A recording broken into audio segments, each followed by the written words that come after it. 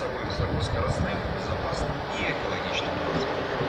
Благодаря коммуникациям такого типа в городе создается комфортная жилая среда, которой поверхность земли принадлежит пешеходам и зеленым растениям. Линейный город Skyway может быть возведен на пустынных, заводненных и труднодоступных для строительства территориях, в том числе